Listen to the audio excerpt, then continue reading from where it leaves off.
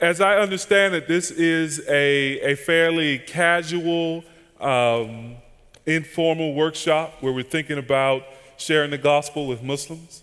Uh, so let me say, in my mind, that means three things.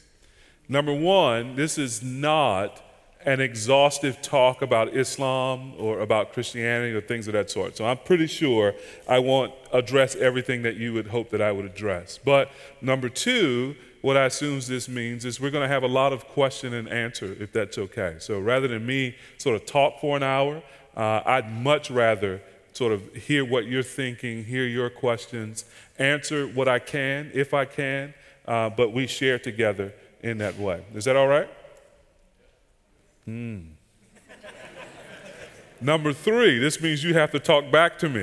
all right, excellent, excellent. Well, let, let me start. Uh, let me start with just a few words about my own story. Uh, not because that's um, particularly important, but at least give you a sense of how I come to this, how I come to this subject. And part of why I want to tell my own story um, is because I do think that when when the West encounters Islam, uh, we, we do have a lot of baggage that we bring to conversations with our Muslim friends and Muslim neighbors. Uh, particularly, or I don't know if it's particularly, but it's certainly true in the United States. If I was speaking to an audience like this in the United States, um, there would be people in the room who have pretty significant fears when it comes to engaging with Muslims. There will be people in the room for whom the main image in their mind is 9 11 and the towers coming down or some other kind of terrorist thing. Uh, there would be people in the room who would feel, uh, feel pretty ill equipped. They, they wouldn't feel able to talk with Muslims about the gospel because of those fears and uh, because of their own doubts about their own knowledge of Christianity.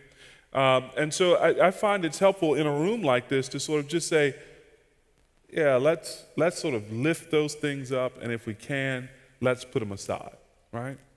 Because, in point of fact, uh, most of the Muslims whom you will meet, whether here in uh, Germany, in your neighborhoods, or in the workplace, or most of the Muslims that you might meet if you went to uh, a predominantly Muslim area of the world, um, not most of them, all of them are exactly like you in this sense.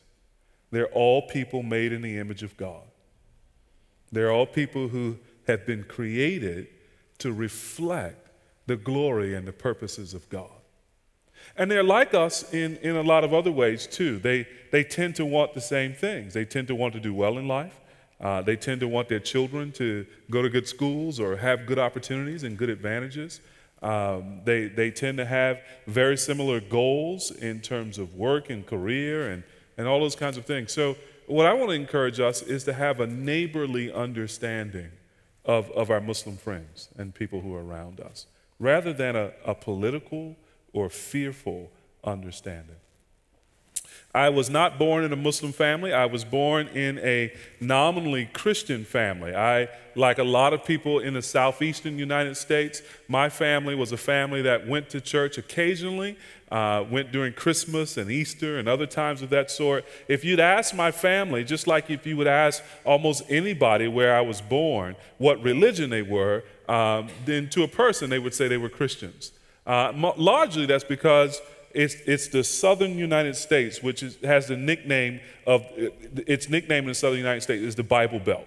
Um, so it's this big sort of part of the country where everybody is, at least in name, a, a, kind of Christian. It's a kind of social, cultural Christianity. And I was certainly brought up in that, which means that I didn't have a, a, a thorough understanding of the gospel. I didn't understand who Christ was and what Christ had come into the world to do, even though I was assuming myself to be a Christian. I didn't know much about the church or the place of the church, even though occasionally I would attend the church. So I was growing up with this very shallow understanding of what it means to be a Christian.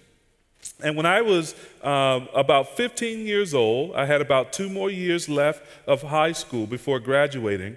Uh, I was a pretty good student, an A B student. Uh, I was uh, a, a, very good basketball player, uh, but that was about 50 pounds ago. Uh, very good basketball player. And, and I had all of the, my teammates and I, we had all of the sort of worldly popularity that comes from being, you know, a pretty good sports team in a small town in the United States, right?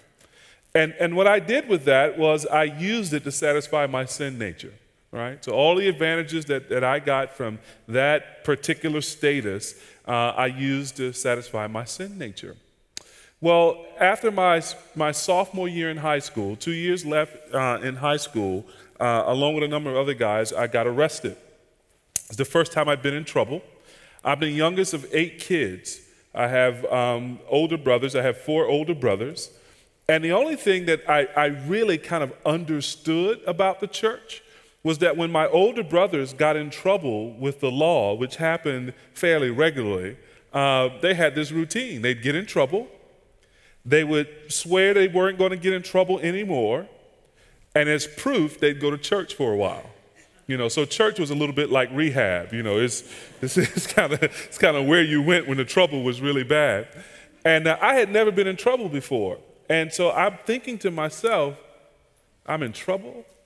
I don't like this. I've broken my mother's heart, my mother's heart. I'd better go to church.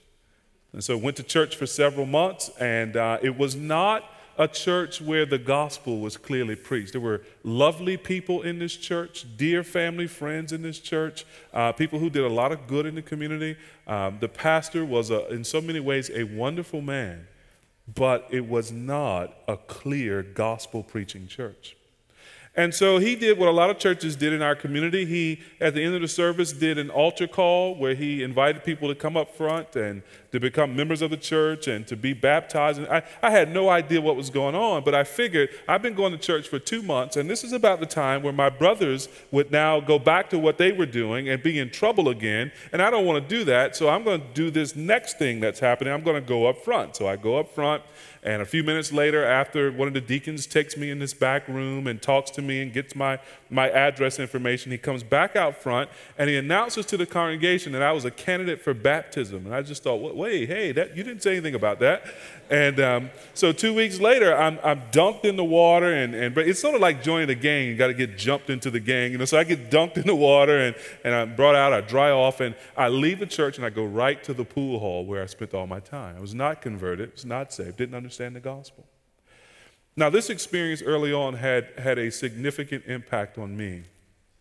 It left me believing that Christianity was false, that it was pie in the sky, that it was make believe, that it was great for little blue haired ladies, but it had no, it had no power in it. That's, that was kind of my thinking when I go off to university. Uh, I should say one other thing, just biographically. My father left when I was about 14. He left the family when I was about 14 years old. And I didn't know it at the time, but I was, I was really angry about that. And um, I had a, a, teacher in high school who tried to help me with my anger. Uh, she was this little eccentric lady from New York. Uh, how many of you have seen the movie Nanny McPhee? Does that ring any bell for anybody? So, a couple of hands. She looked like Nanny McPhee at the beginning of the movie. Uh, you know, just sort of wild hair and just, just this wonderful little lady. And she gave me, um, she saw my anger and she was trying to help me with my anger. And she gave me a collection of writings from leaders from the United States in the 1960s. Uh, these were radical leftist leaders. Um, and so basically reading those, reading those guys, I got more angry.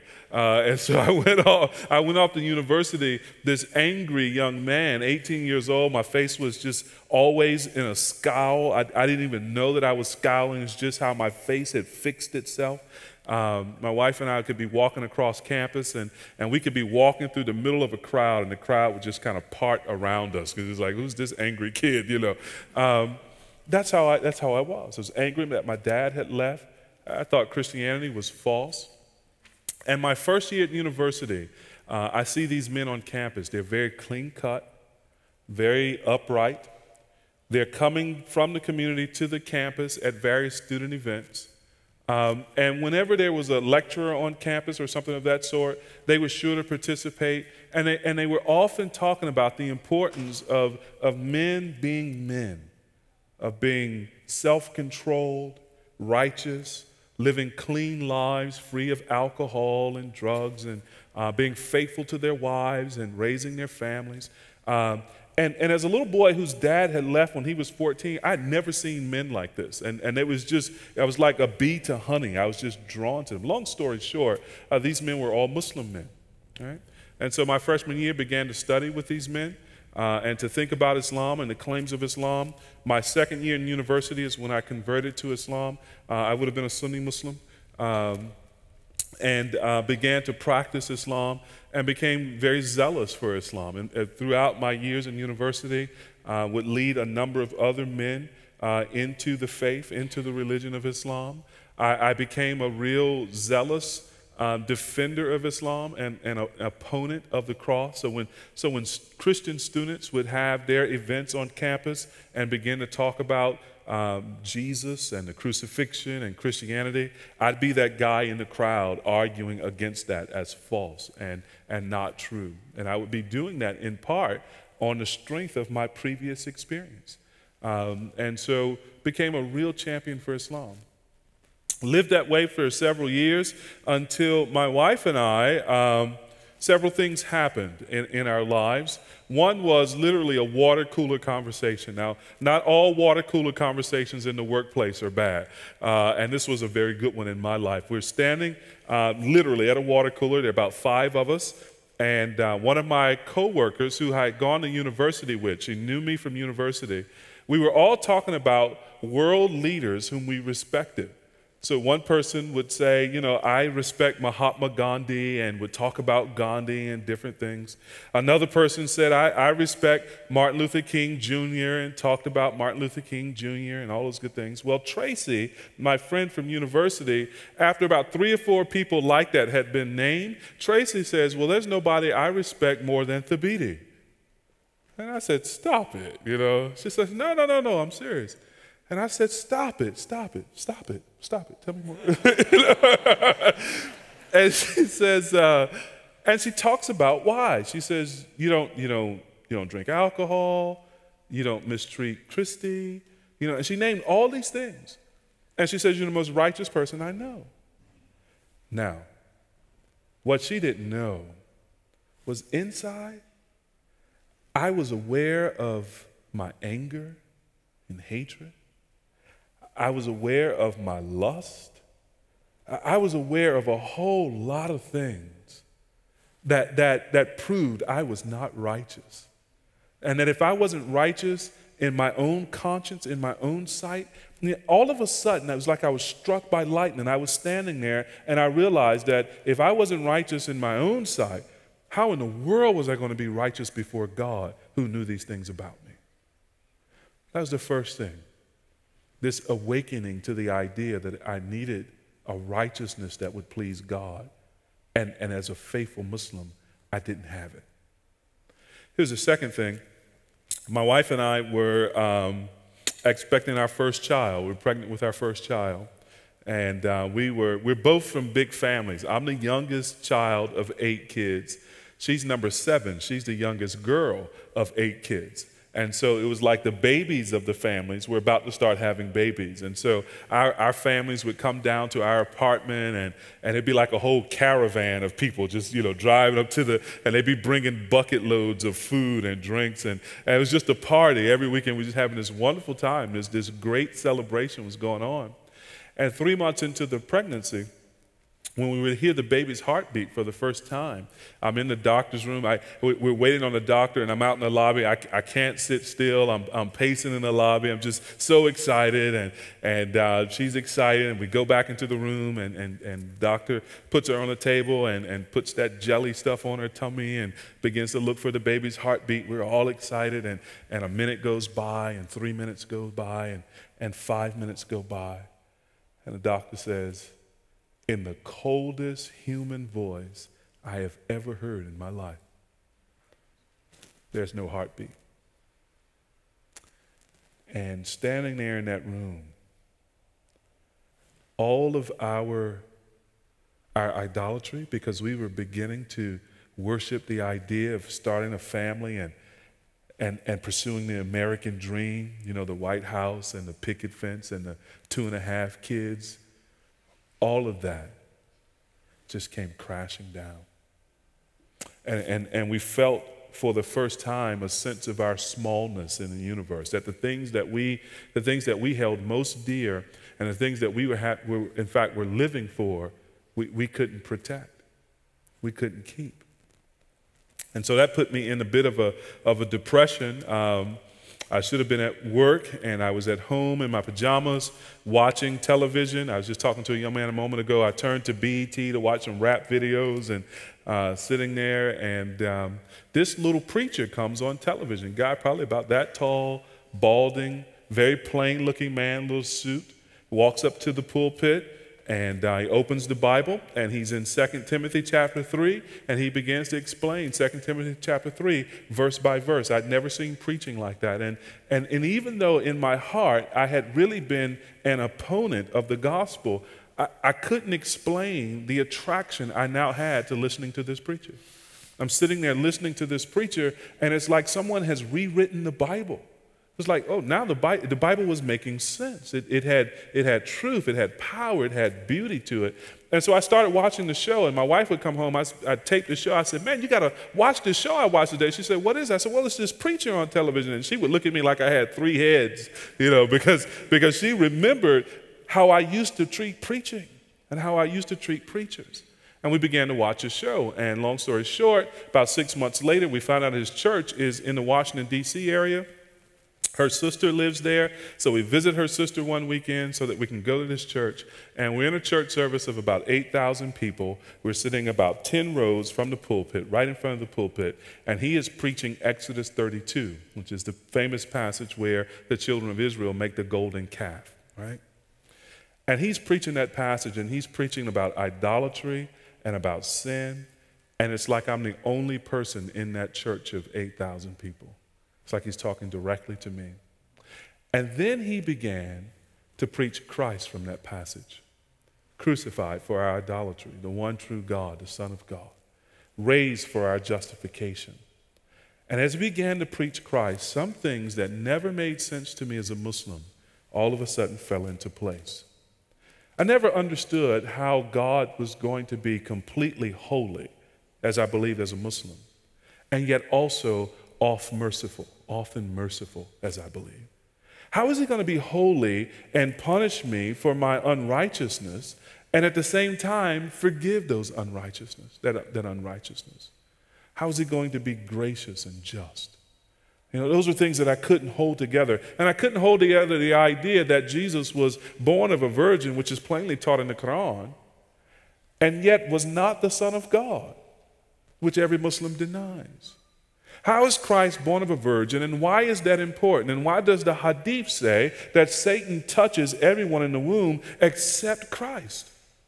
Why, why must he be pure? Well, I didn't have an answer for that as a Muslim, but here in the preaching of the gospel, I was, I was being told that he was the Lamb of God who takes away the sin of the world, that he had to be perfect and without blemish so that he could provide our righteousness, and that he was taking our place in both judgment and righteousness. And so lots of things that had been questions for me were now sort of clicking. They were falling into place as this man preached the gospel. And in God's great kindness to us, that Sunday morning, under the preaching of the gospel from Exodus 32, my wife and I both were converted to faith in Christ. And the Lord was kind, so kind, to give us new life together as husband and wife.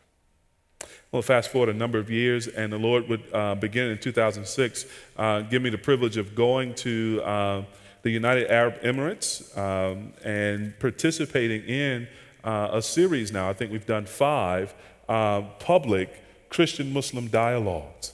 Uh, to my knowledge, this, this just does not happen very often in that part of the world. Certainly doesn't happen publicly um, and, and with the kind of freedom that the Lord has granted us through the authorities there uh, in the UAE.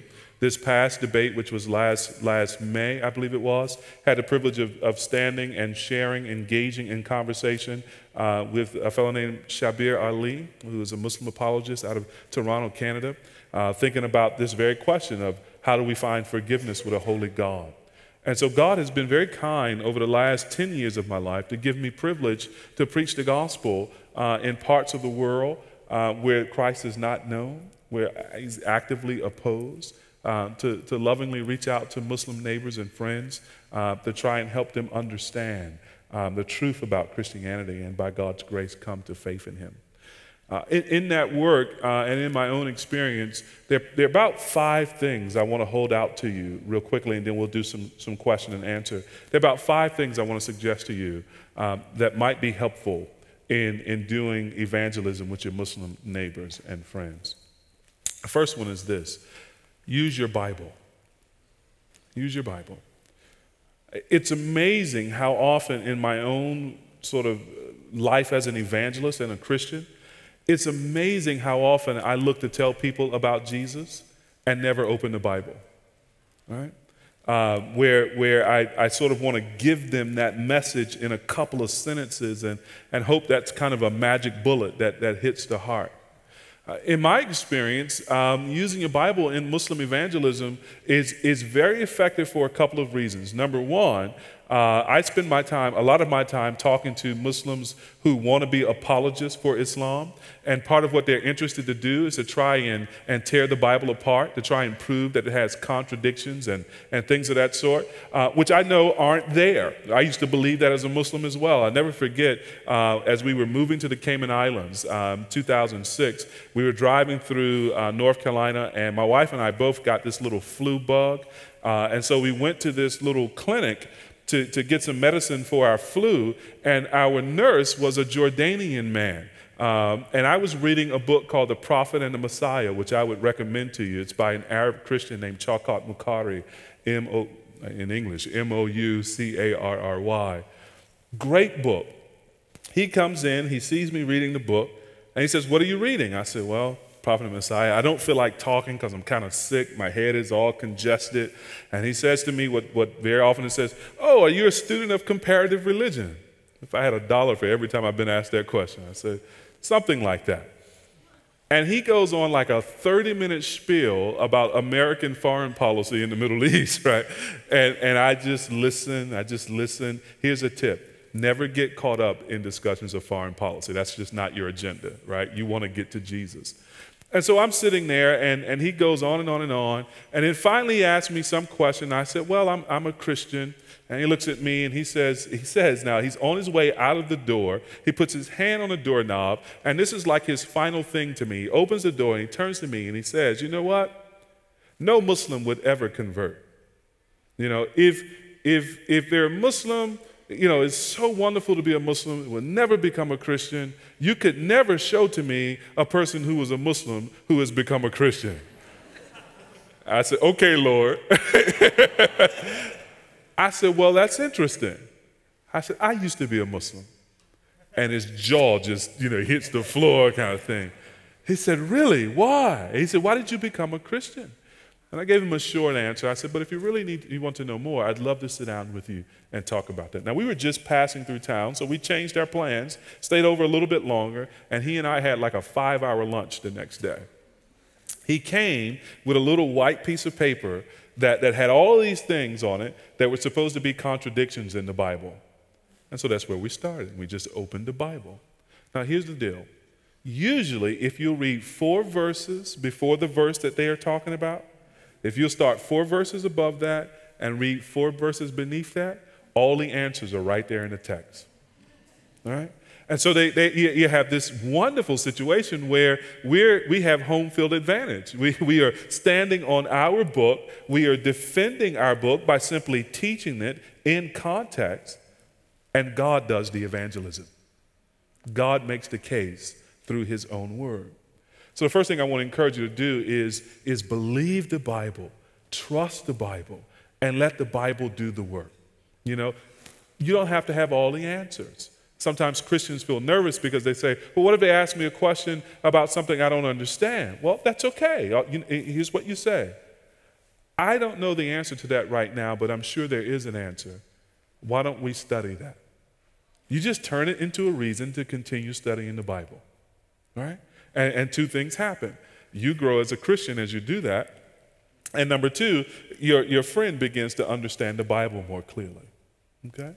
So, the first thing I want to suggest to you is when you're sharing the gospel with Muslims, use your Bible. And here's another reason why that's important. They believe the Quran is the one miracle of Islam that, that is divine revelation from God. And they think that our Bible has been corrupted or twisted. So, one of the things we have to do as apologists is demonstrate the truthfulness of the Bible. There are two ways of doing that. One is you can, you can make certain intellectual arguments for the Bible, and, and that's important. But I think the best way to do it is to show that in your own life and in your own evangelism, you trust the Bible as true. And the way to do that is just to open it, explain it, work through it, answer the questions that your friend is raising for you. All right? First thing, use your Bible. Here's the second thing defend the Trinity. Defend the Trinity. We were thinking about Ephesians chapter 1 earlier today. And as we saw in Ephesians 1 3 to 14, every person in the Trinity is involved in our salvation. This means that in our evangelism, if we abandon the Trinity or we abandon the deity of Christ, for example, we're going to be abandoning the gospel itself. Right? Here's, how, here's how Jesus defines uh, eternal life in John's gospel, John 17, 3. This is eternal life, that they may know you, the one true God, and Jesus Christ, whom you have sent. Uh, really coming to be saved is, in a very fundamental sense, coming to accept God as he offers himself in the gospel. It's coming to believe that God is who he says he is in his triune person and in believing in particular that it is the Son of God who reveals the, the, the, glory of God, right? So Paul says in Colossians that in Christ the fullness of the Godhead dwells bodily. These are precious Christian truths. Now, you're going to have to do some things to clarify what we mean and what we don't mean by the Trinity. So, we're going to have to clarify A, that we do not mean that there are three gods, right? We, we are not polytheists. We believe in one God and we believe he exists eternally in three persons, right? And so we're just going to have to defend that. We're just going to have to embrace that. And you'll get questions about whether or not that's logical and things of that sort. Uh, here's what I appeal to I don't appeal to logic at that point, I appeal to the scriptures, which is why number one is so important. You see, one of the things that we have in common with our Muslim neighbors is that our Muslim neighbors are, are people of the book too. They believe in revelation. They believe in the scriptures. And if they're being honest, they, they, they have to admit that it's their duty to submit to God's word. Well, that, that again gives us a great advantage because in the Quran, the Prophet Muhammad affirms the books of Moses as scripture, he affirms the Psalms of David as scripture, and he affirms the Injil, the Gospels, as scripture. Now, your Muslim friend will have all kinds of debates about what that means, and, and he'll want to insist that they are corruptions in the Bible. But, but here's what we want to press home if we are faithful believers in God, we have to submit to what he tells us about himself in his word. Right? And so when it comes to the Trinity, we, we simply want to say this is what's revealed of God. He's one God in three verses. From the earliest verses in the book of Moses in Genesis chapter 1, where God says something that's cryptic at that point. He says, Let us make man in our image. We get a sense of the, the plurality of persons in the Godhead.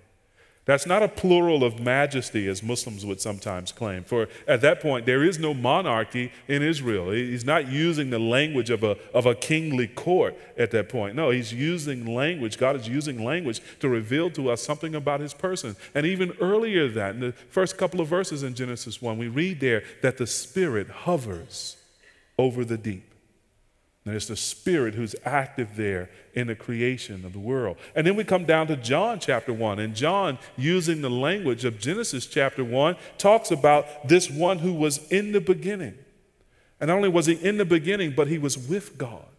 And not only was he with God, but he was God. It tells us there about the deity of Christ.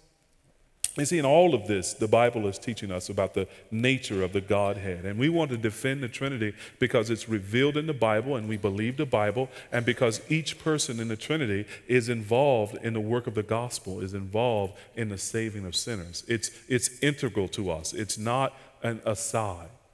And the other thing that we have to do in defending the Trinity is we have to clarify Muslim misunderstanding.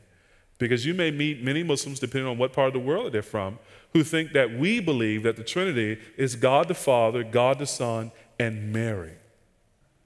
Right? It's a significant error. Shows that the writers of the Quran themselves did not understand the Christianity with which they were engaging. Right? No, it's God the Father, God the Son, and, Holy, and the Holy Spirit. And we do not believe, as some Muslims believe, that, that, that, that God somehow had intimate relations with Mary and they had a son, Jesus. You know, that's in the back of the, of the Muslim mind, many Muslims. That's not what we have in view at all. So, so when they say something like that and they seem aghast at the idea, uh, we want to be horrified at the idea too, because that's, that's not at all what we mean. But that there was a miraculous birth. As, as Jesus puts it in, in Hebrews, God prepared a body for his son. And Christ came into the world fully God and fully man in order to accomplish our salvation. So we want to defend the Trinity. Number three, uh, we, we want to be sure to make sin personal and not just theoretical. So, our, our Muslim friend will have a vague notion of sin compared to the Christian notion of sin. In the Christian mind, sin is not only transgression against the commands of God, sin is more profound than that. Sin is also our nature. We sin because we are sinners. Right? In our nature, we have this hostility toward God. We are turned away from God, uh, and that's what issues forth in particular acts of sin. There's a, there's a cosmic treason against God. And because of that treason in the nature of, of fallen mankind, we are accountable to God. We are liable to his judgment. We deserve his judgment. His wrath is right, and his wrath needs to be satisfied.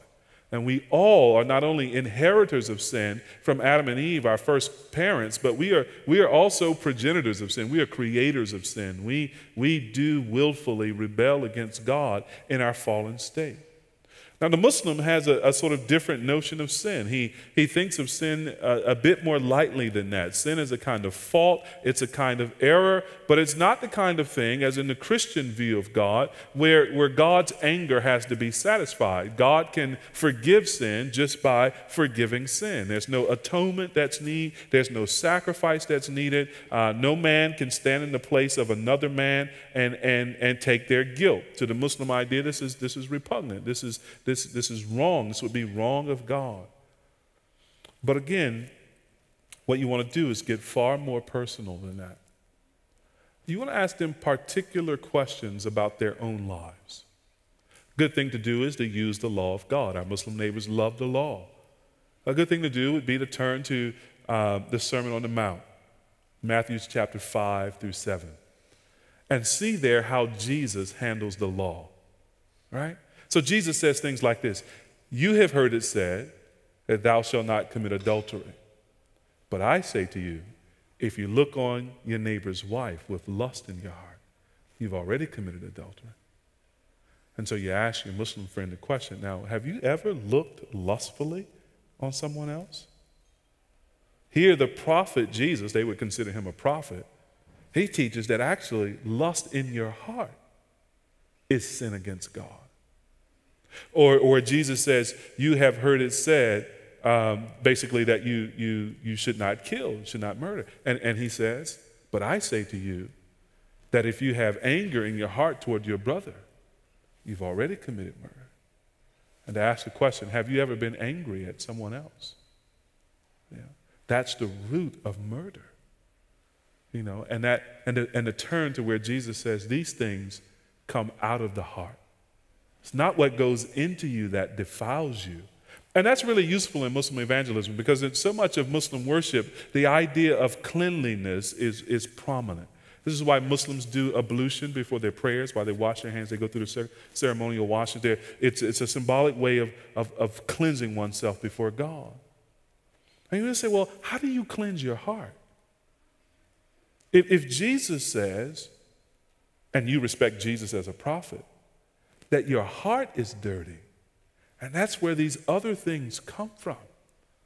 How will you be clean before God with a dirty heart? what you're trying to do there is to force them to think about their own sin and to think about it in the light of God's holiness. And to, and to no, no longer think about it abstractly, but to say, you know what? One day I'm going to be before the throne of God, right? And I'm going to have to give an account for my sins. Yeah? And you want to do that because until the bad news really is bad news, then the good news of the gospel uh, really isn't effective. So at this point, here's a tip. In my Muslim evangelism, I don't move past the doctrine of sin until the person is admitting that they're sinners. Right? Because everything else then just becomes a kind of theological debate. And I'm not really interested in theological debate. I'm, I'm really interested in winning this person to Christ and seeing their soul saved. That's what they were made for. Right?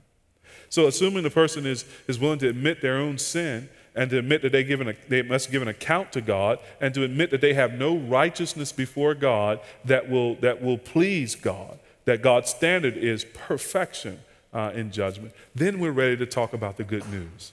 And that's where we want to talk about the cross of Christ, right? So that would be our, our number four there, I think. We want to talk about the cross of Christ and the resurrection of Christ. And both of these things are things that the Muslim, uh, the Muslim really wants to oppose or reject as, as, as unsuitable and untrue historically. And, and here's where 1 Corinthians chapter 15, we realize this is, this is to use a, a uh, I don't know how you would say this in, in Germany, uh, Matthias, but for us, we would say this is the whole, this is the whole ball of wax. This is the whole shooting match. Uh, everything depends on this issue. Look, Matthias is looking at me like, I don't know how we'd say that in German either.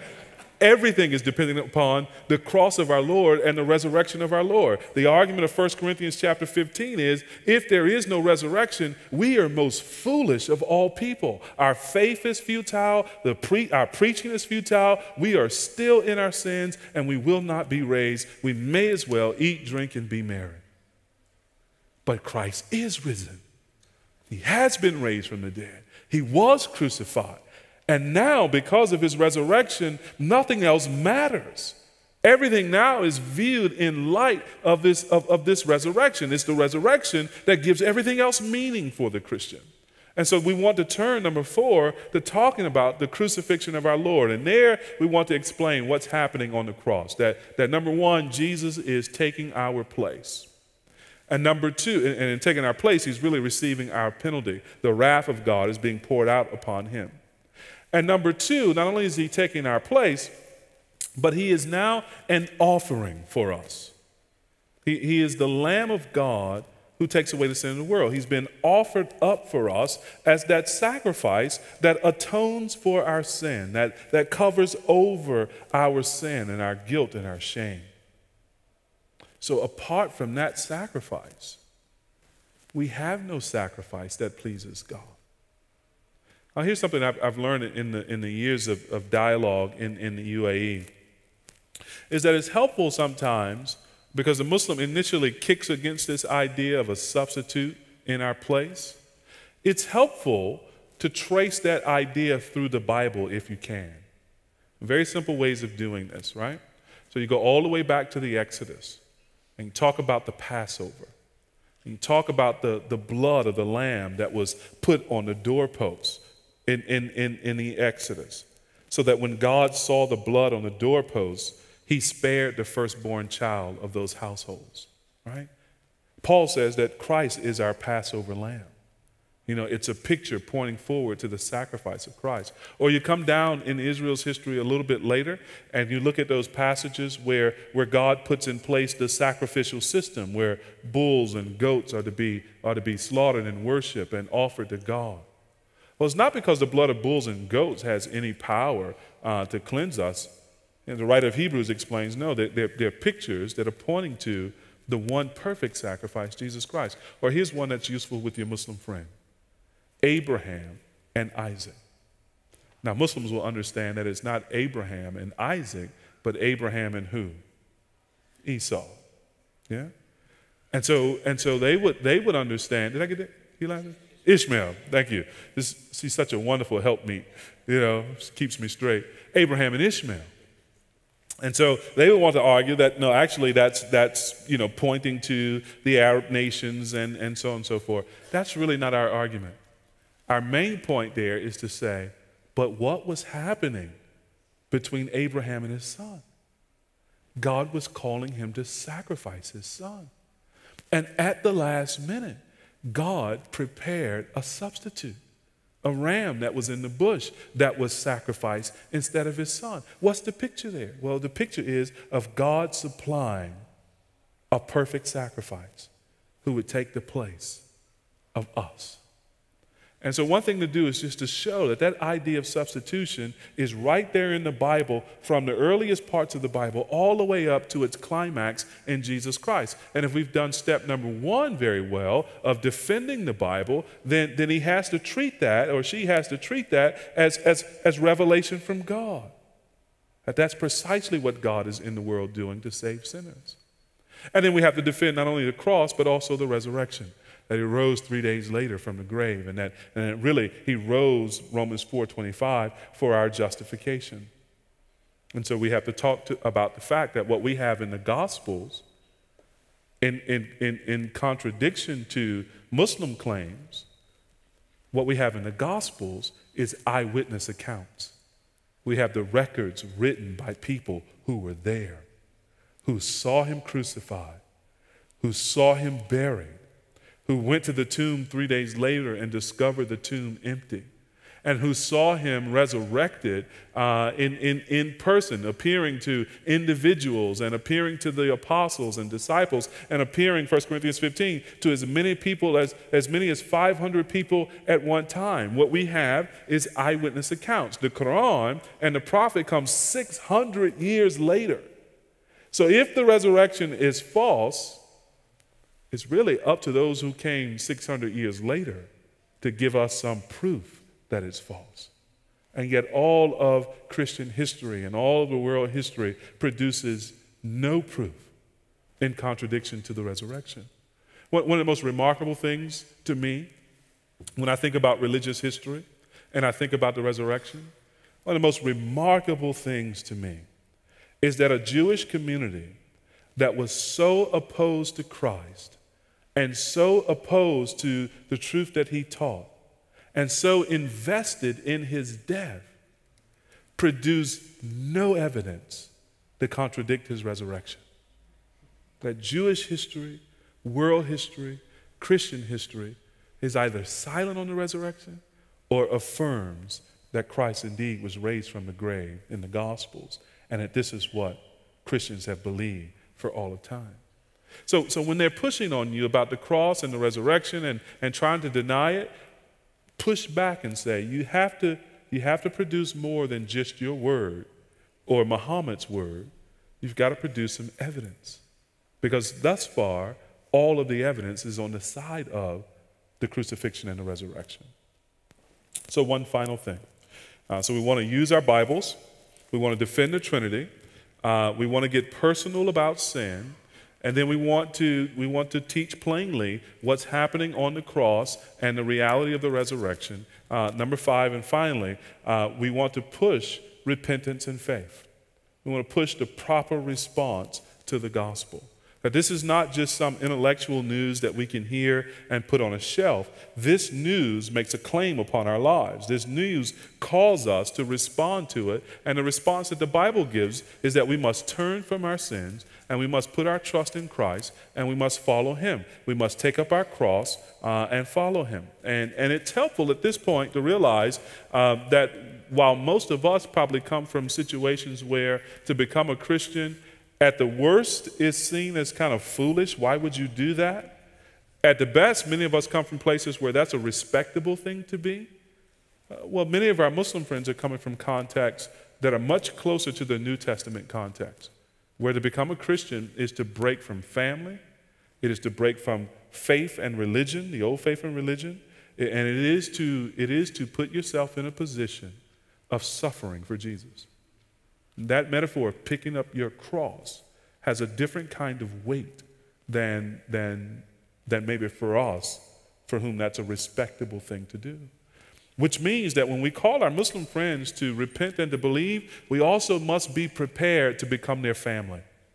We must be prepared to love them and to walk with them, uh, to welcome them perhaps into our home if they're going to be disowned by family, to figure out a way to help them to make ends meet and to earn a living if, if they're going to be cut off, say, from family business or some other business that might be owned by uh, a, a, fellow Muslim or a Muslim community.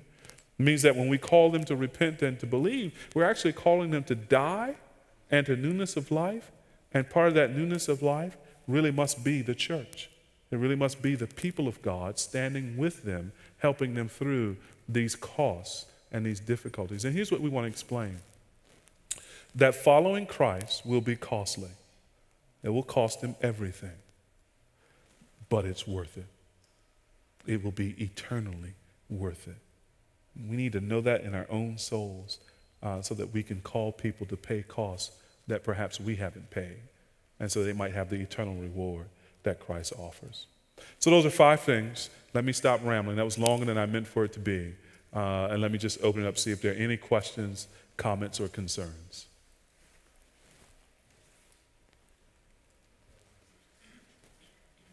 Okay, yes, sir. Can you point out Muslims to read the, to read the scriptures on their own, or is your experience that they don't read? Because my context is that I got. Okay. Um, from your experience, uh, would you say that the Muslims do not read the scriptures? Because my experience is, I thought I, I'll won the battle by giving them out Bible in their language, and they come back to me and say, we don't read. And so I'm back to square one, I think, where I have to explain where I thought yeah. for them having the Word of God. That will yeah. be kind of like a case one. That's a great question. Uh, I, this is why I think using your Bible when you're having conversations with them is so important, uh, because the, the Bible is not like the Quran uh, in a couple of different ways. The Bible is a, is a narrative, right? There's a history, there's a, there's a timeline that's happening with the Bible, and God is revealing Himself through that timeline. Uh, the Quran is organized in ways that are not chronological. It's, it's not a lot of narrative. There's a lot of law and a lot of aphorisms and things of that sort. And, and in many Muslim societies, maybe most Muslim societies, there's great dependence on, on, the, um, on the imam or the mullah. There's great dependence on the religious teacher, such that most, most Muslims will maybe have learned some Quran, maybe have memorized it, memorized it in an Arabic that's really quite arcane and difficult. And so they don't read their Qurans and don't understand their Qurans. Um, and so coming now to to Christianity and coming to the Bible is really a different kind of religious experience. Um, so I think what I would say is where you have opportunity to read the Bible together, to explain it, to teach it in its context, that's better.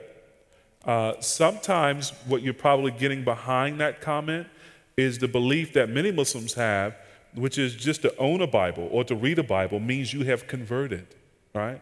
Um, and so that there's, a, there's an opposition to it really on that level. So there may be people who, in fact, can read, um, but they're going to pay a cost for having a Bible or seeming to read the Bible. There's not that same kind of freedom um, in many Muslim families and many Muslim communities. Um, and so that you have to sort of figure out what you're getting there, what the response is there. Uh, if it's a problem with reading, then maybe reading together. If it's a problem with um, that that wrong view that just holding the Bible or having the Bible or reading the Bible means you have converted, then you might want to look for safer ways to, to read the Bible with them.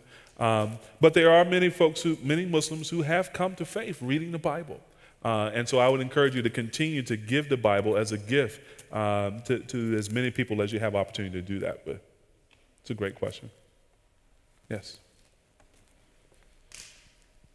Uh, to follow on from that question and point one of use the Bible, an objection I've received a few times is the Bible is unreliable. Mm-hmm. It's all been translated so many times. It's been distorted so many times over 2,000 years. Yeah. And the, as you just said, the Quran is in its original archaic Arabic, quite hard to understand. I'm sure we would not get as much out of the Bible if we were still trying to read it in Hebrew and Greek. So how do we, uh, how do we even get to that first base of no, our Bible is reliable? Yeah, that's a great question. I, I think what I would do in order to sort of get that issue out of the way is to say, hey, can you be more specific? Can you produce any place where we have reason to believe that the Bible is not accurate? Right?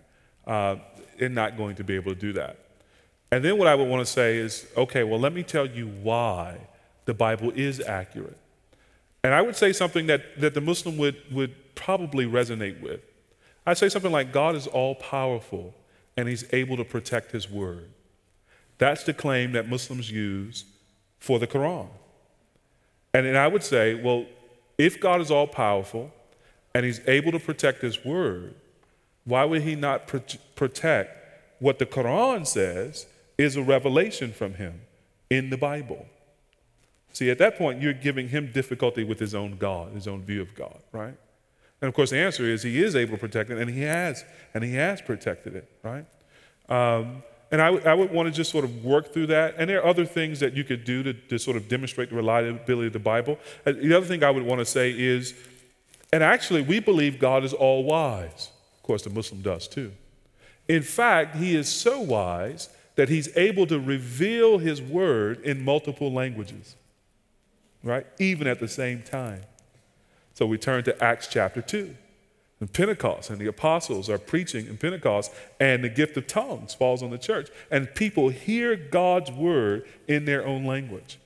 And I would say, actually, we have a bigger view of God's power and God's wisdom than the view of Islam, which says he only speaks in Arabic. You know? Um, and so that's how I would start with that. And I, would, and I would just sort of say, hey, let, let's be intellectually honest. Unless you have proofs of the Bible's um, corruption, Let's put that aside and let's accept it as God's word, just as Muhammad did, and let's believe it. You see, basically, you want to put them in tension with their own view of God and with their own prophet. Uh, and say, if Muhammad could say, Bring me your books and I will show you the truth therein, then you ought to be able to do that if you follow your prophet. Right? Yeah, this is great. Some other question here. Oh, can, can I say one other word too? If I had to, I think I would, I would also um, begin to try and weaken his confidence in the Quran by saying Prophet Muhammad never wrote a word of the Quran.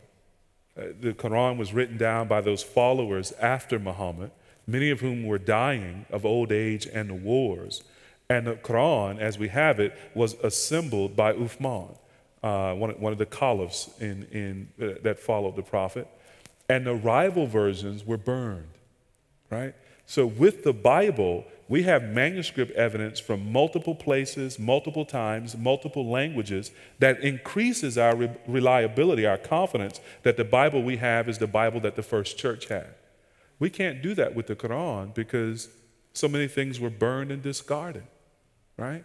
Uh, and that's, that's part of why you have Sunni and Shia is, is over a debate about verses that should have been in the Quran according to Shias that, that wasn't. Yeah? It's good. I'm sorry. Yes, sir.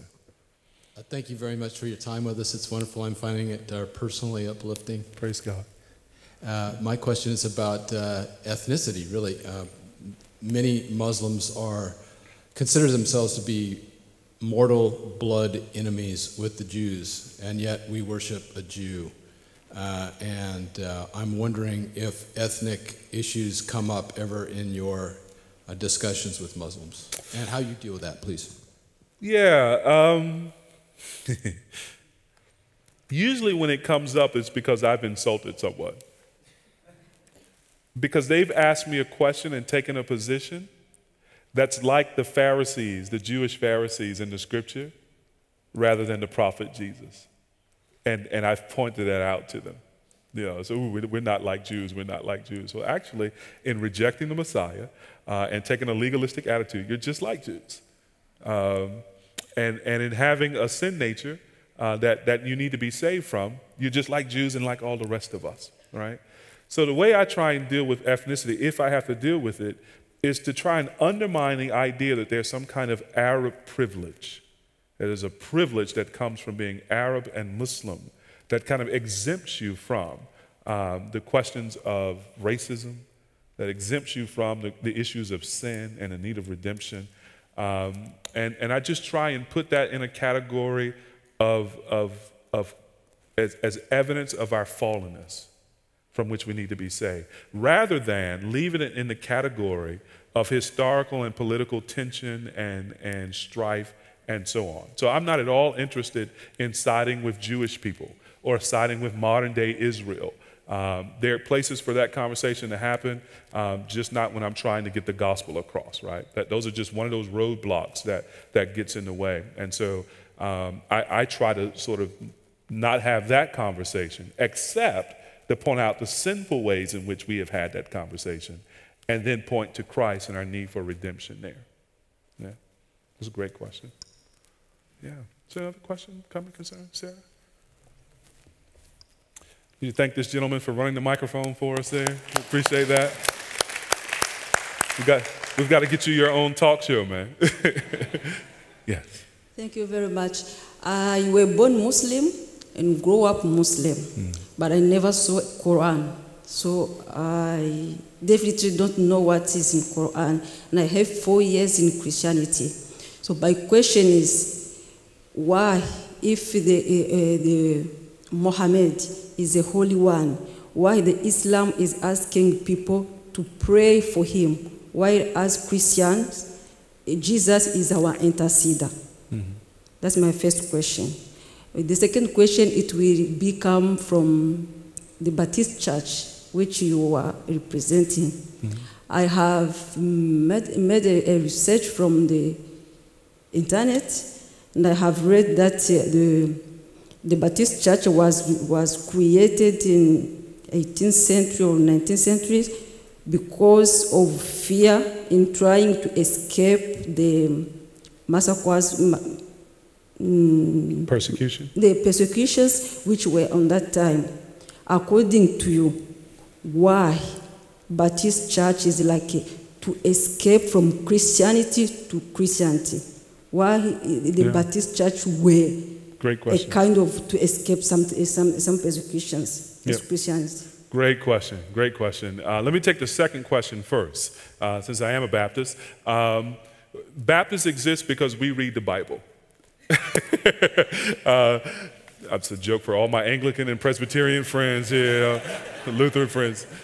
Um, no, historically, Baptists do get their rise out of the Reformation uh, particularly uh, get their rise out of the English Reformation, where there were some folks who had broken away from the Anglican Church because they were reading their Bibles, rediscovering the scriptures, rediscovering the gospel, uh, who came to see in the Bible um, what we call believers' baptism, that the only persons who were baptized in the Bible were persons who professed faith in the Lord Jesus Christ and, and repentance um, toward faith in Christ.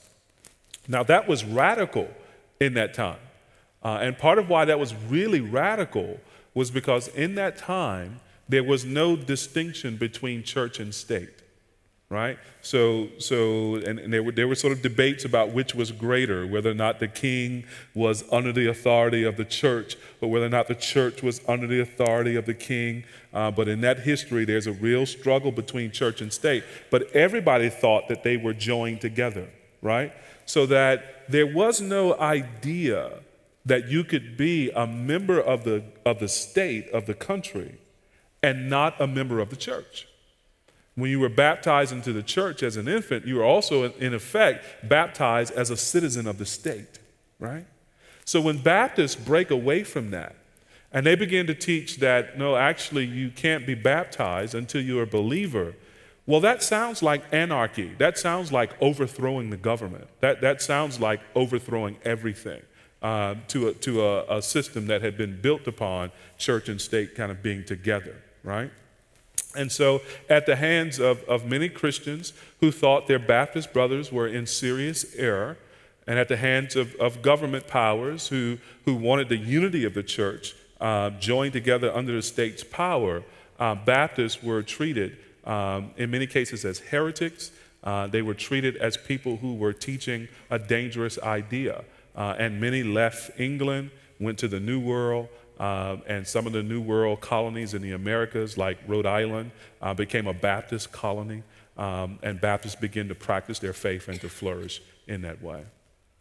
Yeah, it's a great question. Your first question was why pray for the Prophet Muhammad if the Prophet Muhammad is, in fact, uh, pure or clean, and so on. And here's a place where I think Muslims are, they contradict themselves in their theology, right? So, in, in one sense, uh, a Muslim is taught to say a little prayer for Muhammad every time they mention their name, right? So, you know, you, you mention the Prophet Muhammad and you hear, peace be upon him, right? Um, here's where Muslims, and I think this is another place where Muslims show us that they don't have a real good understanding of sin. I remember being in, in one debate and uh, we were talking about sin. A young lady asked a question from the audience about Adam and Eve and sin um, and, and asked it of my Muslim opponent, and he was kind of offended. And he says, No, no, no, Adam and Eve never sinned. And I, I nearly fell out my chair. I said, What, what, what, what are we all doing here then? And he went on to explain, he said, basically, he went on to explain and say, the prophets, they may have made some mistakes here or there, but, but they were not sinners, right? Um, and, and he went on to maintain that view. And, and I think that's just an indication of the inconsistency of Islam in understanding how serious sin is uh, and understanding how that sin is removed. Uh, we cannot pray for the Prophet Muhammad. He has appeared before the throne of God and he has been judged. Right? It's appointed for man to live once, and after that, the judgment. Right? We have this life to repent and to believe. Right? Not the life to come and not some, some purgatory, some intermediate state. We have this life to repent and to believe. Uh, and our sin is so serious that if we die in our sin, we are eternally separated from God. Right? And that's the point to make really clear to our Muslim friends. Now, the question is do you do that with the prophet? Well, I think it's going to depend upon how well you know your Muslim friend, right? So some people are going to be so offended by that that they won't hear the rest of the gospel, right? For that person, I'll save that for a later time. Other persons may, may be able to hear that and accept that and not feel offended to the point where we can't talk any further. And with that person, I would, I would make that plain that, yeah, Prophet Muhammad has gone on to judgment. Uh, and, and our prayers for them are not effective. I, hope that, I hope that helps. Sarah, did you get the mic? Um, so I have a question over here. I hear your voice. Just can't see you. Oh, there we go. Excellent. English guy hiding at the back. English um, guy in the back. It's where we like to keep English guys. it's where we it's where we belong. Um, my question is: You talked about defending the Trinity. Yes. Um, which passages would you use to show the deity of Christ, Christ's godliness, and would you use any from the Old Testament as well? Great question. Uh, I think what I try to do is stay in places that seem to me to be clearest about that. Um, and I understand that my Muslim friend will, they often will want to allow or disallow certain passages based on what they think is, is authentic. Um, so, again, step one, you've got to defend the Bible in its whole. Uh, but clearly, John 1 is a place to go, uh, Colossians 2 uh, and, and 1, where, where Paul gives us such a high view uh, of Jesus' divinity. Um, obviously, if you, if you go to the Pauline letters, your Muslim friend is going to say, oh, that's Paul. Um, he's going to take a page out of the, the book of liberal Christians and say, Paul made up a different Christianity than what Jesus practiced. So then you want to go back to the Gospels and you want to find passages where, where Jesus, he doesn't say, I'm God, but he demonstrates that he's God. So go to the passages where he forgives sin and Jewish people say, hey, you can't do that, only God can do that. Or go to the passages where he walks on water, where he raises the dead, where he heals the sick, where he demonstrates that he's the Lord over, um, over creation. Or go back to the Sermon on the Mount and see how Jesus um, shows he has authority even over the commands of God, where he says, You have heard it said, but I say to you. Um, or, or see how he, how he deals with David's psalm, where he asks, Well, who, what's going on with David in the Psalms when David says, The Lord said to my Lord, Sit at my right hand until I make your enemies my footstool? Who's, who's he saying that of? Well, he's saying it of the Messiah. Yeah, and Jesus is saying in so many words, That's who I am. I'm, I'm Lord. Um, and so those are some of the passages that I would, that I would think about there. Um, and that psalm example would be a, a, good example of an Old Testament passage spoken of in the New Testament that, that demonstrates his deity. That's good. All right, coming around this way.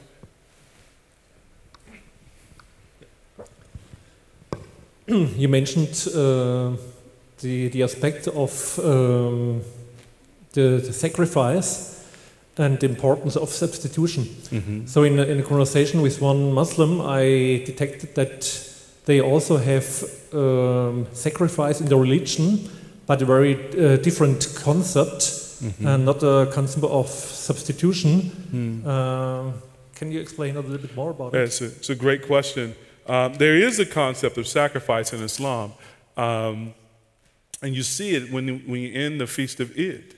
Um, and and, and there's, there's korban, there's a sacrifice of, of the goat there, which is in its in Islamic tradition points again back to Abraham, right? And Isaac. So it's there, it's just not prominent, right? Uh, it's just not emphasized there. So that's just a place where I think that might be a good place to start uh, as common ground with, with our Muslim friends. But from there, you've got to, you've got to really develop the theme uh, more richly and, and to make it more robust in their understanding. And you won't be able to do that with the Quran. You won't be able to do that in Islam. You'll have to, you have to come back to the scriptures uh, and do that from the scriptures. Uh, but it is there, it's weak, uh, but it gives us a place of contact, a starting place. Uh, and it takes us back to a passage that we share uh, with Abraham uh, and the sacrifice of his son. But we, we have to sort of then teach it's God who supplies the goat, it's God who supplies the sacrifice. Um, and, and then come forward and see that it's God who supplies himself as that sacrifice as we, as we read the scripture and understand the scripture. Yeah? Look right up front here, second row, Miss Sarah. I wanted to latch on to that um, point number four about sacrifice because this is where the conversations have gotten stuck a number of times. Um, you uh, talked about the, the fact that it is difficult for them to believe in this sacrifice um, and that uh, we need to ask them to produce more evidence beyond their word. Now, when what we're using is our word, how do you get beyond our word versus your word? Yeah. Um, our evidence versus your evidence. Yeah, that's a great question, Sarah. Um, because the tendency to be to play Bible ping pong, right? You know, I hit you my verse and you hit back your verse. Uh, and and that, that just makes everybody tired, right? Um, I, I think what, what we have to do is this is going all the way back to the first point. We got to establish the authority of the scripture, that, that the Bible is revelation from God, that it's our duty as believing people to submit to it and to accept it.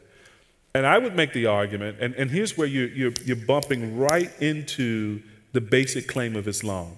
So most Muslims believe something like this. I've heard it put this way that Judaism is the elementary school, Christianity is the high school, but Islam is the university, right? That Islam is the perfect religion, that it, that it completes the revelations of God and it corrects what went before it, right? Well, that, that we, we could never abide by that. We could never accept that view of history and the progress of religion. Um, and so when we're in that first point, establishing the scriptures, here, here's part of what we have to sort of set ourselves up to say. And that is, the, and, and that is this that Islam really does not continue Judaism or Christianity.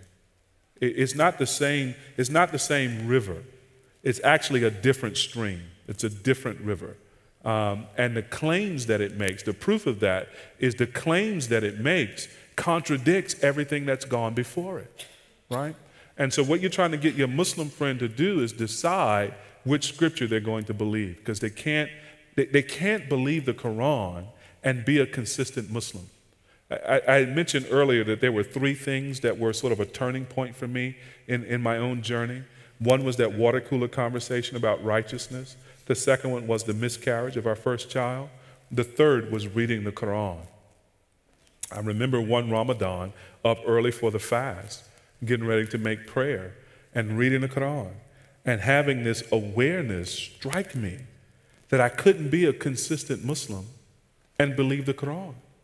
Because the Quran was admitting too much on one hand and taking away too much with the other, right? So if, if Muhammad says that the Gospels are from God, how can I now reject the Gospels, right? Um, the Quran would teach in 11 places, would make references, at least 11 places, I think this is right, I might be confusing this with, with Isa, al Masih. In 11 places, it calls Jesus the Messiah. Well, what's the idea there? What is the Messiah? That's a, that's a Jewish concept, right? And, it, and it's developed in, in the Bible. This Messiah literally means anointed one. Well, the next question is what's he anointed for? Well, he's the chosen one of God to take away the sins of the world. So if I'm going to be a self consistent Muslim, I can't believe that Jesus is the Messiah and deny that he's the chosen one to take away the sins of the world. You know? Um, so in, in being consistent with their own book, they, they wind up in these very bad dilemmas. Several times the, the, the Quran mentions the Holy Spirit. Ask your Muslim friend, who's the Spirit of God or who's the Holy Spirit? And very often, the traditional answer you'll get is that that's a reference to the angel Gabriel, right? But then you read the Quran and you read those passages where the Holy Spirit is mentioned, and you see some passages which mention all of the angels and the Spirit. I was like, those are two different categories. What is this Holy Spirit of God? Is that not making partners with God? Is that not talking, is that not borrowing from Christian language about the third person in the Trinity? But you don't believe the Trinity. Why is this in your book? You know, and so I think what you want to do is, is create a situation where the Bible is, is, is plausible and where there's a suspended belief about the finality of the Quran long enough where they can consider the Bible honestly. And the way to do that is to sometimes prompt them to think about the Quran honestly and to, and to sort of push toward the contradictions uh, that, that exist if you're trying to be a faithful Muslim and believe what the Quran teaches. The gentleman over here had a question. I, I hate to make you go that far, uh, but you're young and fit and. Thank you, Sarah. I hope that, I hope that was helpful. Okay. I work in a workplace where there's an increasing number of Muslims in the um, workplace coming from several different directions. Um, the variance goes from Bosnia to Israel to Egypt, Turkey, et cetera, et cetera, etc. Um, in general, they know that I'm a believer and that um, they're going to have hard time, a hard time with me um, because I have considerable theological background. Mm-hmm. And um, what I'm finding out is that I have a real hard time having a one on one talk with anyone because um, the, um, it's really to the point where some of the guys who've been there for quite a while are just engaged by using kind of a friend, friendly fire taqiyya um, thing. They'll, they'll lie to the other colleagues yeah. about me yeah. so that they won't talk to me because they're afraid. Um, what's the difference between the personal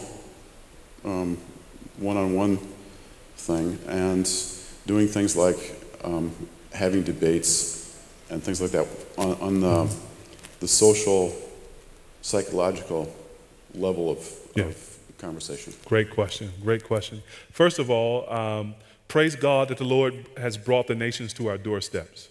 He's, he's made the work of missions that much easier if we would share the gospel, right?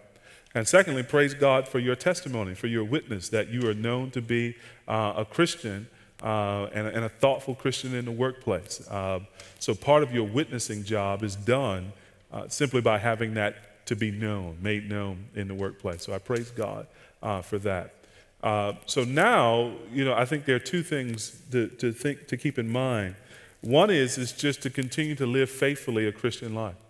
So, so if you're being lied about um, on, in the workplace, and yet you're living a life full of integrity, uh, people will then begin to see the difference. You know, you, I, I've been told that this guy is really argumentative and, you know, doesn't know the Bible very well, but actually, every time I see him, he's gentle and kind. Um, and he seems to speak of Jesus as if they are on a first name basis. You know, and, and there's, a, there's a way in which your living then becomes, we pray, um, light to them and, and, and tasty, salty to them. Uh, so that's part one. Part two, I think, is this, and this is the case whenever I'm doing the, the public dialogues in, in Dubai or other places, or whenever after the dialogues, right? That's when a lot of the conversations start. So we'll, we'll spend three hours debating, and we'll spend another two hours just talking to pockets of people who come to us. Um, and I realize that, that when I'm asked a question from the floor, or someone comes up to the stage afterwards and asks me a question, there, there are at the stage a dozen other listening ears. Or in the debate, there are 700 other people in there. I'm answering the question not for the guy who's trying to attack me, I'm answering the question for all the other people watching, right? Uh, and so you, you will have some guys in your workplace who are not good faith conversation partners. Uh, they're not sincere. Uh, they want to twist things and, and paint you a certain way. Um, if, if they were to ask me a question publicly, I'd answer their question, but I would answer their question with the other folks in mind who, who I'm trying to win, who, who I pray are, are more open to the truth uh, than perhaps the guy asking the question. But it's a, it's a, it's a long strategy, it's a long term strategy uh, of being consistent. Yeah, go ahead, follow up. So you have a guy in the workplace who's moving toward becoming an imam who is now sort of gaining some authority among the other people in the workplace. And he uses that authority to shut down their questions and the discussion. And so, what to do there? I'm reading a little book right now that my wife um, recommended to me. It's called In the Land of Blue Burqas. It's a wonderful, uh, wonderful little biographical book of a woman who worked for five years in Afghanistan. Uh, and I love the way she writes the book because she tells her five, the story of her five years in Afghanistan uh, through the, the sort of lens of a lot of personal interactions that she's had with people. And, and she does a really wonderful job of highlighting what you're saying that there are some settings where she's talking to people, and, and really the only person who is speaking in the room is the one who's assumed to have the most Quranic knowledge, the one who's assumed to have the most authority in that way. Uh, and she does a wonderful job of illustrating how to bring forward some theological issues uh, in a way that is respectful, which is very important if you're laboring in Afghanistan, um, and in a way that shows the problems or the contradictions in that position. So, you might, the next time you have that conversation, whatever is the question that you're asked, you might instead sort of try and figure out a way to, to sort of turn that around um, and to, to sort of put on the table not that question, but how, for example, we understand authority in Islam and Christianity. What is authority for? When you say, hey, you know, Christ, we call him Lord. He says in Matthew chapter 28 that he has all authority in heaven and on earth. You know what the amazing thing is? He doesn't use his authority to silence people. He talks to people. He asks questions. He teaches them the truth about heaven and hell, right? And ultimately, he lays down his authority to die for them. How does authority work in Islam? You, you, you see, and, and, that's exactly right. And so, without, that's exactly right. And so, what you wanted them to do is to think about, well, how does authority work in Islam? Well, the, the mullah or the, or, the, or the imam tells us what we must think. Well, is, is that how it works in Christianity? Well, no. Or how does it work in Islam? Well, you, you, you crush those who disrespect Islam. Is that how it works in Christianity? No. Christ tells us to turn the other cheek. You know, and so the best you can do there sometimes is sort of point out the inadequacies of Islam by, by sort of finding that issue beneath the surface and making that the issue. And, and hopefully you, you begin to loosen his grip on some people such that they begin to think about what they're hearing. And they will be thinking about what they hear you say in those conversations. Okay. Thank you guys. You guys have been great. Uh, getting the time from Matthias and since he's taller than I am and since he's feeding me, I should stop. well, what Thank you could you do is we have many, many Muslims in Germany. Why don't you pray as we close for our witness, that we may be bold and wise, and that God may, may use our, our words to win many of them Amen. for the Christian faith. Let's do it. Let's pray together. Father, we do give you thanks that you have made our Muslim neighbors and friends in Germany in your own image. We praise you that, O oh Lord, they bear the, the imprint of your glory and they are made to bring you more glory. And Father, we do mourn and we do grieve at the thought that many of our Muslim neighbors and friends, unless they hear the gospel and believe in you, they are headed, O oh Lord, to an eternity of judgment. It's the same judgment that we deserve because of our sins. It's not because simply that they are Muslims, it's because, O oh Lord, that their sin nature has led them to idolatry, it's led them to reject Christ. And oh Lord, we pray, unless you overcome that by your Spirit, they would be lost. And so we do pray that you would conquer the hearts of our Muslim neighbors and friends. Conquer it with your grace, conquer it with your love, conquer it with the truth of your gospel.